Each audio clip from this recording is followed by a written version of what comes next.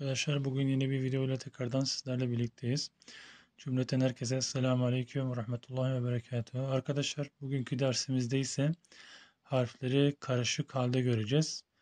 Bir önceki derste gördüğümüz harfleri bugün karmaşık olarak tekrarlayacağız. Arkadaşlar dersimize her zamanki gibi Bismillahirrahmanirrahim ile başlıyoruz. İlk harfimiz olan aynı harfi arkadaşlar.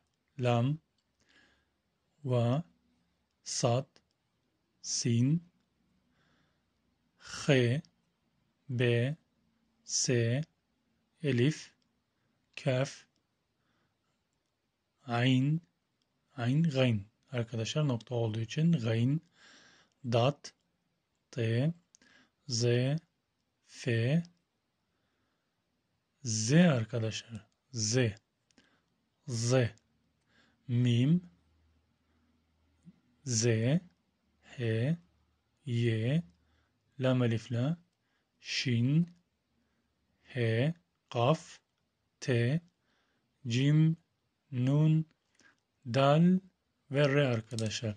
Arkadaşlar bazı harflerde yani ardışık olduğu için yani hem kalın şekilde belirtiliyor. Mesela Ayn gayn harfi arkadaşlar burada mesela.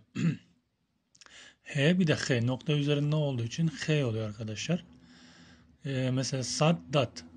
Dat nokta üzerinde olduğu için dat diyoruz. T arkadaşlar. Mesela bunun bir noktası olmuş olsaydı Z olacaktı.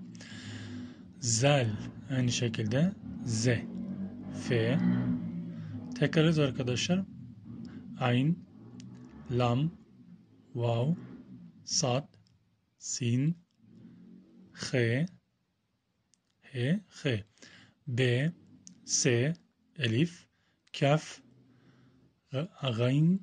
dat, t, z, f, z, mim, z, h, y, lam alif la, şin, h, kaf, t, cim, nun, dal ve re.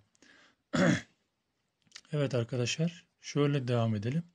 Şuradan aşağı doğru gideceğiz. Sin, kaf, fe, ye, te. Sad, elif, z, dal, zal, z, he, kaf, re.